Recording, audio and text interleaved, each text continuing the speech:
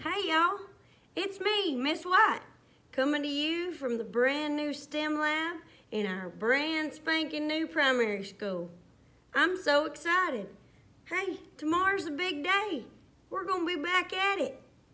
We've been working hard to get the rooms ready, get the school ready, get our plans ready. We're gonna have a good time.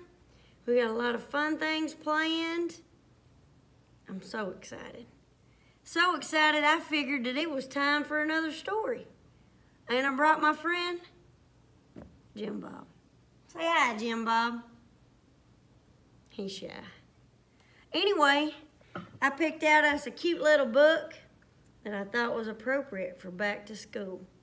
Something we probably all need to remember tomorrow when we head back. It's called We Don't Eat Our Classmates. And it was written by Ryan T. Higgins. Let's begin. Penelope Rex was nervous. It's not every day a little T-Rex starts to school. What are my classmates gonna be like? Will they be nice? How many teeth will they have? This was very important.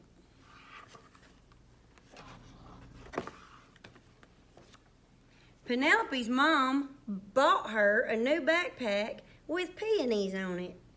Peonies were Penelope's favorite because peonies are delicious.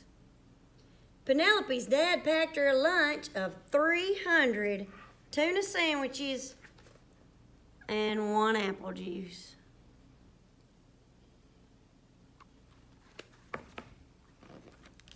Finally, the big day came. That's gonna be tomorrow for us. And Penelope Rex was very surprised to find out that all of her classmates were children.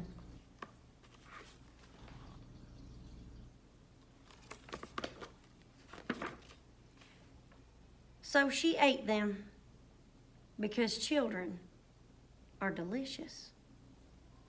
Penelope Rex, said Miss Noodleman. We don't eat our classmates. Please spit them out at once. So she did.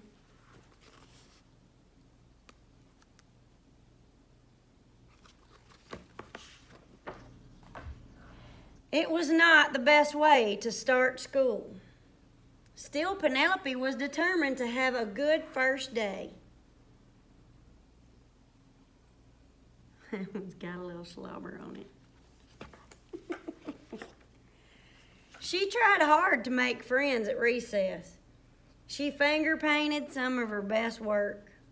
She even saved Griffin Emery a seat at lunch. You can sit here, she said. Penelope started to notice that everyone was making friends but her. It was lonely. Poor Penelope.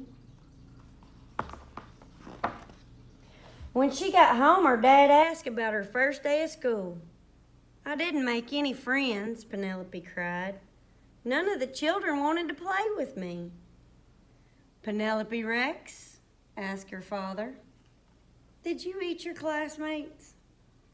Well, maybe sort of just a little.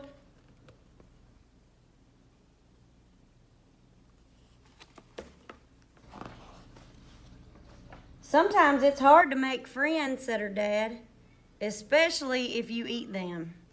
You see, Penelope, children are just the same as us uh, on the inside, just tastier.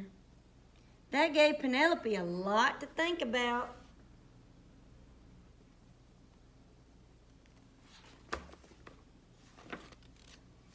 The next day, Penelope tried really hard. But poor Penelope couldn't stop herself. Miss Noodleman, Penelope ate William Omoto again. And they were all afraid of her.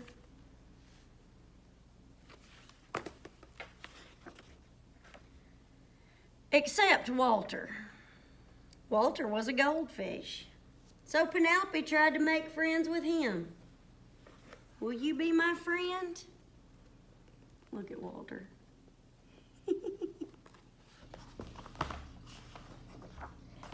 Chomp.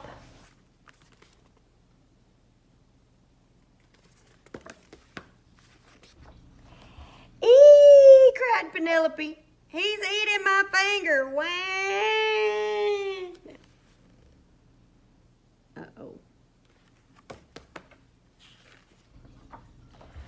Once Penelope found out what it was like to be someone's snack, she lost her appetite for children.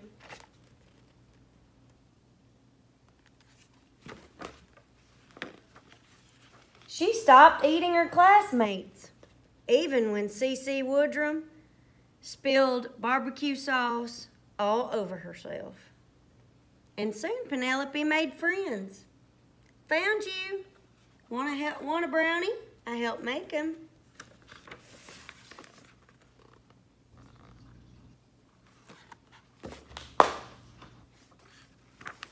Now, even when children look especially delicious, she peeks over at Walter and remember what it's like when someone tries to eat you.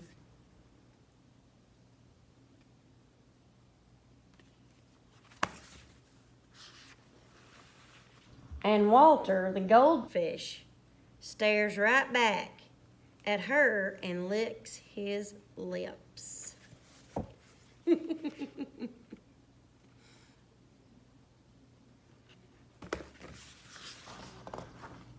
because dinosaurs are delicious.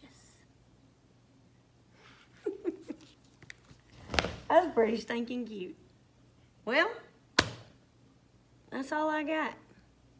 Y'all need to get you a good night's sleep, get you some good rest, because tomorrow is go time. I love you, and I missed you, and I sure can't wait to see your little faces bright and early in the morning. Sleep tight.